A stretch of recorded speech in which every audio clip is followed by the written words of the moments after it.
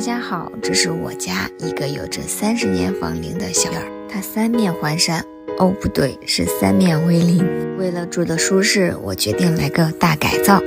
因为是老房子，厨房和卫生间都设在院子里，洗碗的水管也是设在院子里，冬天使用非常不方便。于是改造就先从厨房开始。清理完所有物品，天都已经黑了。最后给我亲爱的老妈一个特写，你辛苦啦。厨房是妈妈待的最久的地方，墙面已经都发黄，所以我决定把它们全部拆除，重新粉刷。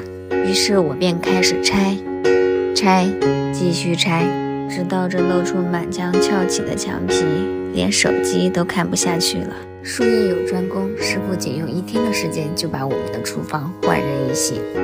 扣板是直接钉在墙上的，没有间隙。水管只有走了明路，安装了热水器，在之前放柜子的地方装上了水槽，这样冬天洗碗也不会冻手。硬装完成后，我才发现这个角落里竟然有一个小坑，我也不知道这是干什么用的。虽然上面垫的有木板，可我还是想把它给填上。于是我便开始了自己的第一次水泥工。下期让你们看一看我用手砌出来的斜形水槽台。后续会不断更新小院改造和踩坑过程，喜欢的点赞关注吧。趁着师傅走水电，顺便把院子里的水管和水槽台都加高。我拿出十二分的精力去加高这个台面，细致又均匀地涂抹水泥。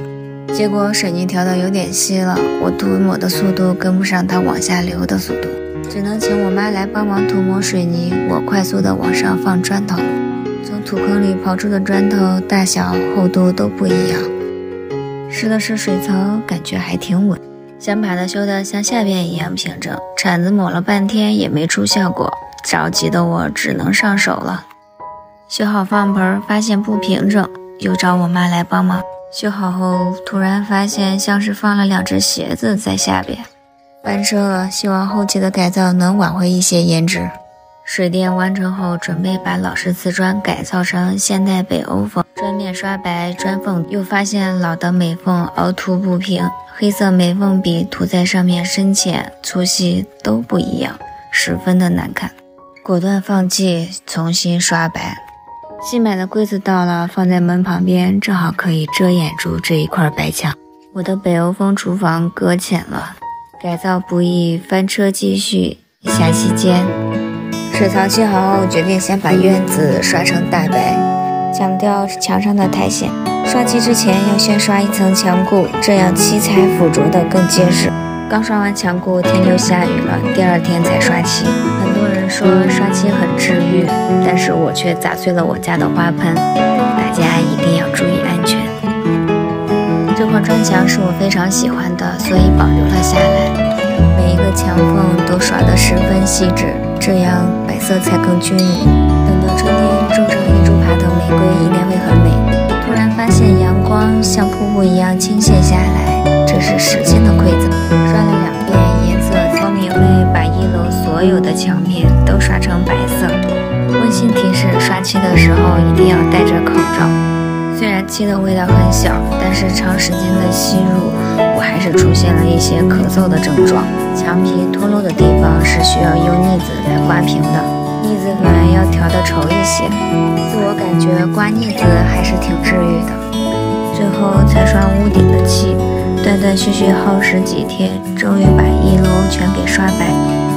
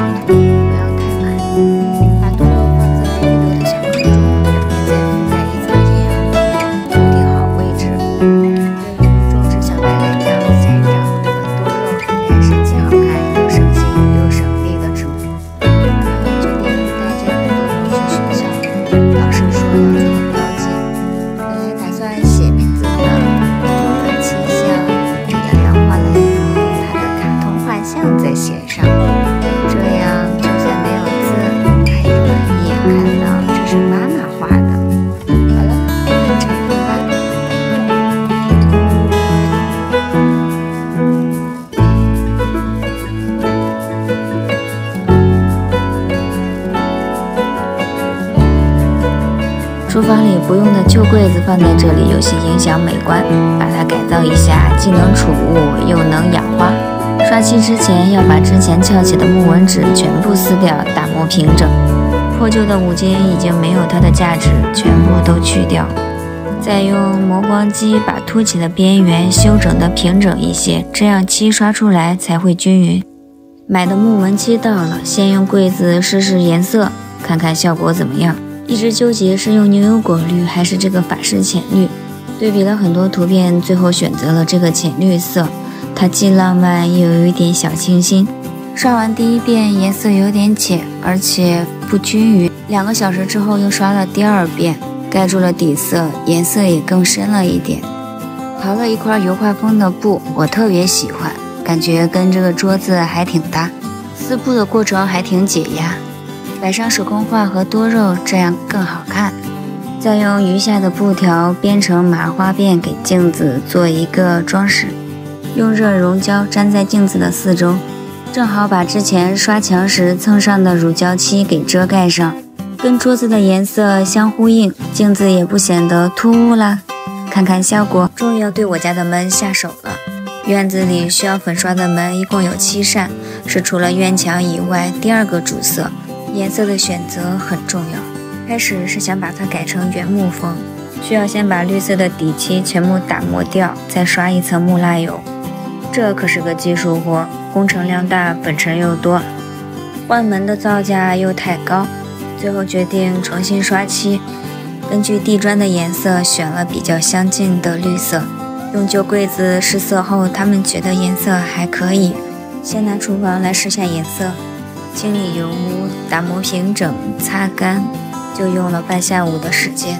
把防蚊网安装在里面，露出金属柱子。刷上漆还是挺好看的，门框上钉的小孔要用填缝剂填平，再往上刷漆。我是刷了第一遍漆之后才发现框上有很多小黑洞，常年的风吹日晒，门面变得凹凸不平。刷完漆之后倒有些做旧风，把窗户也刷成绿色和门相呼应，后期再摆上几盆绿植，倒挺有一些意境。先放上前几天改造的花篮，看看效果。刷了两遍之后，买了木漆和色浆，准备自己调个颜色。厨房的门要不要再重新刷一遍呢？砍掉的椿树枝又细又长，不如把它改造一下，削掉外皮，再找出一块好看的布料，做帐篷的材料，这不就有了吗？只有三根树枝能用，先用布条把它们绑起来，做好支架，摘下来就色差。布宽一米五，高度正好。预留好入口位置，把布围在框架上，调整位置后把顶端固定。支架是活动的，要测量好每条边的长度一致，定好位置。用胶浆粘会比较快，但不美观也不结实。针线活是我的特长，包着树枝缝的，忽略了拆洗的问题。大家缝的时候可以预留的宽一些，这样好从树枝上去下。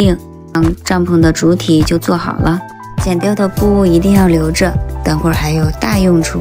下一步是给帐篷开个窗户，让瑶瑶进去比个大概高度，再画出窗户的形状，中间一定要预留十字形，否则窗户的形态会不规整。帐篷是三角形，所以我选用了圆形的窗户。剪完之后再做一些装饰，可以加固边缘形态。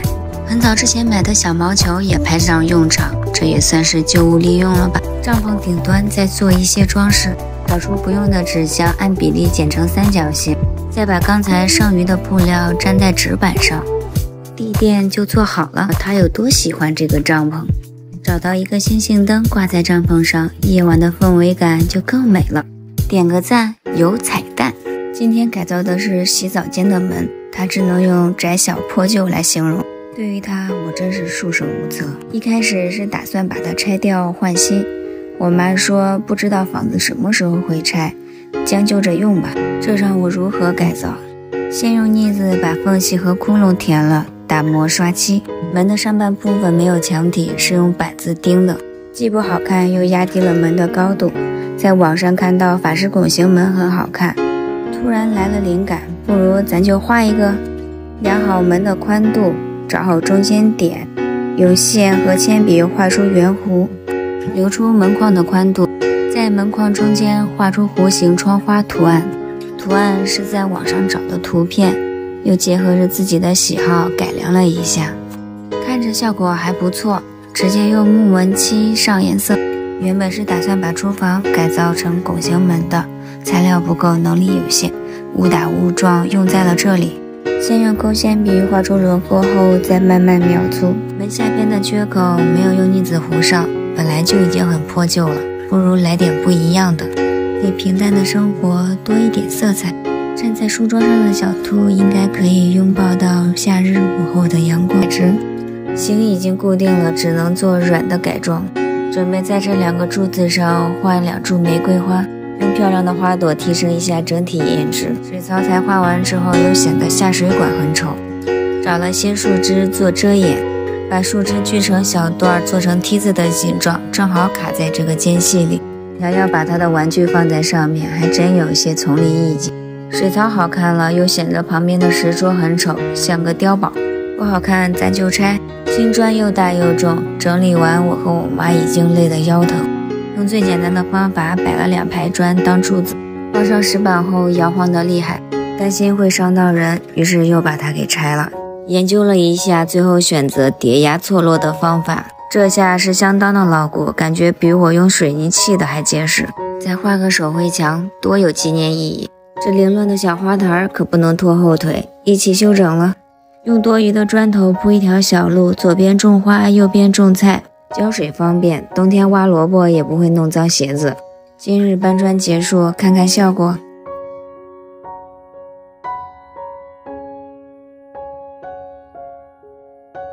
新买的防蚊网到了，把这个旧的拆下来。老式窗户中间那扇是固定的，不能动。窗户去不掉，清洁起来就特别麻烦。先铲掉表面的灰尘，再用毛刷清洁角落，最后再用水擦干净。这陈年污垢是相当的厚，以为擦完窗户刷漆就简单了。柱子挡着窗户，滚筒刷进不去，只能用小毛刷一点一点的刷。用了两天的时间才搞定这两扇窗户。接着就是堂屋的门，准备把老式的风门改成法式风，裁了块玻璃，把之前烂掉的那块给换了。清洁打磨后，开始做造型。花六块钱买了三根线管盒，压好间距裁剪，临时固定在门上，看着效果还可以。这次终于找到我想要的颜色。刷完第一遍漆之后，他们觉得这个颜色有点暗，我又开始纠结是换颜色还是继续刷。先把边条装上，看看大概效果如何。到底要不要换颜色呢？大家给个意见。上一期发完视频，朋友说颜色看着确实有点深，考虑要不要重新调个色。第二天发现，在阳光下颜色超好看，是我想要的奶乎乎的绿色。扎好封条，用腻子补了缝隙，把多余的材料擦干净，开始刷漆。现在大部分的工作时间都是在刷漆，从一整面墙到现在的一个小缝隙，刷漆对我来说游刃有余，并且治愈了我的强迫症。带大家看一看用六块钱改造的法式风门效果。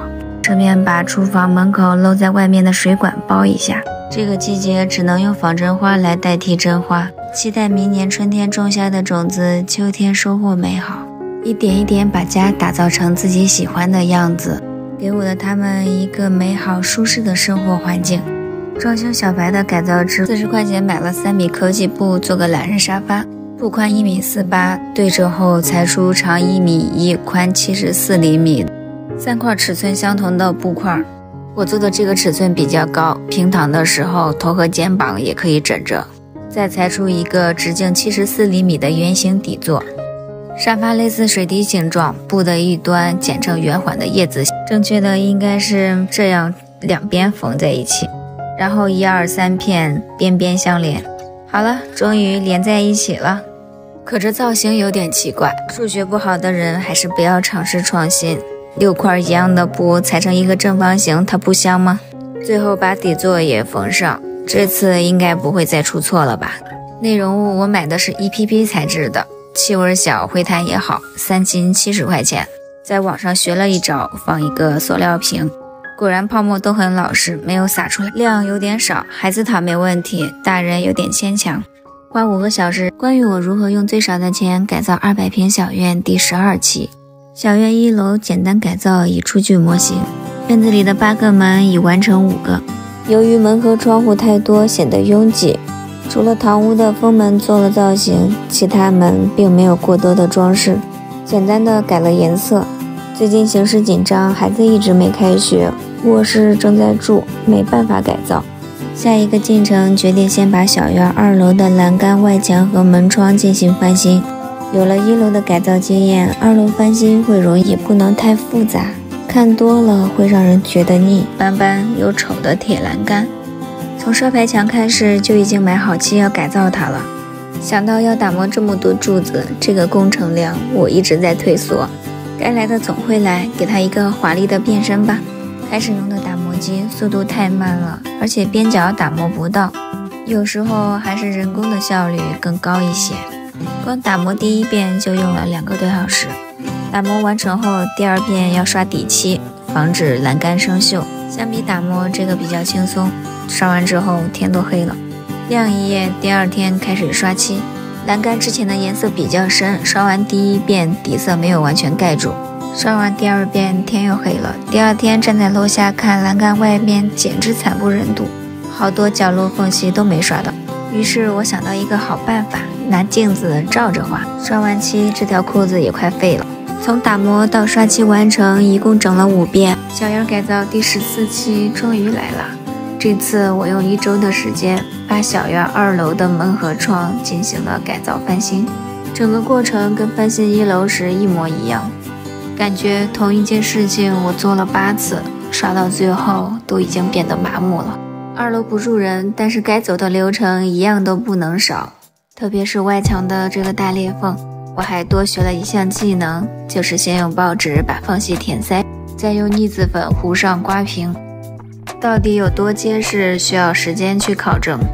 为了给翻修卧室打基础，哪里有坑我就铲哪里，铲完之后再练习我的抹平技术，到翻新卧室的时候就能派上用场了。经过这一个多月的打磨，刷漆我是又快又省。漆的遮盖力很好，第一遍先加水稀释，这样刷着不累。等完全晾干再刷第二遍，可以不加水，稠一些能直接遮住底色。买漆一共四百，刷了八扇门加两个封门，其中有三扇门刷的是正反两面。二楼堂屋的封门原本是打算把网拆了换新，下边封条的螺丝生锈了，拧不掉，意外发现这是金属网，相比我买的更结实。把网收紧，刷上漆，看着还和新的一样。刷完门，趁着天好，赶紧给外墙刷个漆。刷得快，就会有失手的时候。二楼的门和走廊的外墙搞定，看看效果。接下来就是门的细节处理，买了金色丙烯，给堂屋的封门显得很空旷，给它来个简单改造。下期看效果。二楼封门的改造完成啦，老式的门把手没有换。只是在原有的基础上给改了颜色，这组法式浅绿和土豪金的搭配有一种异域风情的别致，干脆把所有的门都换成了金色。金属的窗纱又硬又结实，我准备上面做一幅画，先勾勒出花的形状，再往里填色。这网眼会自动过滤，太稠都挤到里面，太稀会往下流，只有不稀不稠才能挂在这网上。刷了两遍颜料后，才勉强看得出花的形态。再画两只相互陪伴的猫咪，时光就这样悄悄溜走了。上一期结尾出现了第一遍勾勒的图形，朋友说我画的是玫瑰花，我说不对，让他再猜。其实我画的是今年大火的郁金香。画完后，连我自己都迷茫了，怎么越看越像玫瑰花？这下可真是改不了了。黑色笔，这似花非花，虚虚实实又朦胧。冬天的阳光透过窗户照在桌子上，暖暖的。再找一些花草点缀一下窗台。空酒瓶和废纸盒不要扔，当花瓶也很美。再放上一幅用旧木板做的肌理画，氛围就有了。花六十多块钱做的窗帘，跟我这窗户颜色也挺搭配。系上蕾丝蝴蝶结，可爱又浪漫。再来一盆小绿植，沐浴阳光。把做手工和改造的工具都搬上来，工作室里的工作台就简单布置完成，看看效果如何。没想到，只有小时候的梦想竟然搬进了现实，这里工作。然而，我还缺一把凳子。上期我说缺个凳子，于是到杂物间去寻宝，还真被我找到了一把具有年代感的椅子，除了有点灰尘生锈，还是挺结实的。拉走打磨，看我怎么将它变废为宝。找了一件不穿的旧衣服用来做软包，挑个同色系颜料刷框架。以前的老物件是好用又结实，能折叠，能斜靠，坐着也不硬。先把坐垫拆下来，给金属框架刷漆。我是用丙烯调的颜色，刷了两遍，基本就遮住了底色。第二天发现刷过漆的地方全透着铁锈，会生锈。于是我又刷了一遍金属底漆，保险起见又用白色金属漆打个底，再刷一层粉色颜料。还好这次没翻车。下一步就是包坐垫，把衣服的毛毛和衬里剪下来，衬里平铺在坐垫上，用热熔胶把一圈粘起来，粘的时候要拉紧，防止有褶皱。粘完再把多余的一圈布料剪掉加固。颜色太素净了。我打算在上面做些造型，用粉色丝带包一圈后，觉得挺像玫瑰花。用蕾丝浅试了一下，效果不是很理想，颜色依然太素，干脆自己画一个。从网上找了相近颜色的图片，我又画了一幅郁金香，带着丝绸的光亮，看着效果还不错。把取下来的毛毛粘在靠背上，一定要粘得紧凑一些，这样看着才密实。冬天做又暖又舒服，另一面可以夏天用，但这个花纹颜色太复古，跟凳子不搭。夏天做靠背不能有太多的装饰，我还是选择手绘，画上夏天的元素，是不是立马就清凉许多？一把凳子，两种做法，冬暖夏凉。做完凳子还剩下很多毛毛，今天用它改造两个小物件。最近想买一个带毛毛的发夹，冬天用。这不现成的材料，自己做一个。先剪出两段跟发夹长度一样的毛毛，最好是形态均匀一致的，再用热熔胶粘接固定。另一侧粘之前要先比好形态，固定好之后再观察两边形态是否均匀一致，稍作调整，修剪成圆环的椭圆形。不花钱就得到了一个毛毛发夹，还旧无利用了。再把这个简陋的笔筒也改造一下，铁筒的边缘先用蕾丝花边固定一圈。再把成条的毛毛沿着铁皮筒旋转固定，加上一些装饰就完成了。摘下来的毛毛还剩很多，怎样才能把它用完呢？有点强迫症的我，看到什么东西都简单改造。买的相框到了，想做个沙滩立体画，只找到了以前在海边捡的海螺，没有沙子和滴胶做不出来沙滩。又找了些贝壳，想做一个贝壳风铃。摆好造型，用鱼线穿起来，看看大概效果。相框的尺寸太小，做出来看着没有网上那种大气。构思了一下午，怎样才能把大海和风铃结合到一起呢？绘图决定把它们拼凑起来，画在贝壳上。生在北方的我真的是太喜欢大海了，说画就画。先画的是草地、大海和天空。打底完成后，再把喜欢的花朵画在草地上，最后画人物的背影。刚看到这幅图的时候，我就很喜欢这对情侣，把它们与大海相结合，就有种面朝大海、春暖花开的美好景象。怎么说呢？缘分就是这么奇妙。当我画完图，看着它的时候，有一种似曾相识的感觉。于是我翻相册，找到了一张一六年我和宋先生去涠洲岛时拍的照片，就可以串线挂起来了。鱼线从孔里绕两圈，用胶固定。两孔之间的连线要放在画的背后，从正面看不到鱼线，因为画是连贯的。穿好之后一定要跟上一排对好位置间距。穿完了，临时粘上看看效果。嗯，感觉少一排，这细细的也太难看了。不会要翻车吧？换个方向试试。这下是紧凑了，可是不够长，下边的间隙也很宽。放上海螺看着还可以，先固定上再说。调整好间距和高度，用胶枪粘在相框的中间，下边空出来的间距放上一排海螺和贝壳。粘珠子的时候，趁着后边的灯光，灵光一闪，这不就是所谓的夜明珠吗？顺便又做了一个海螺灯和贝壳灯，真的超美。再沿着相框的一周，把余下的灯串都给固定上。最后的一个小灯珠，把它折起来当路灯，正好照亮了这对小情侣。开关固定在相框侧面，剪掉多余的材料，一起来看最后的效果。蓝色大海加上悦耳的风铃声，让人心情愉悦。挂在墙上也是超有氛围又浪漫。找到一个台灯，这颜色也太喜庆了，决定把它改造一下。把外面的布拆掉，只留一个框架。在衣柜里找了两件不穿的衣服，衣服的蕾丝花边和刺绣可以利用上。先把自己需要的都拆掉，剩余的布料可以当打底。用 A4 纸沿着灯框边缘描出形状，剪出模板，衬在布上，剪出八片一样的形态。剪完后比了比，看着还挺贴合。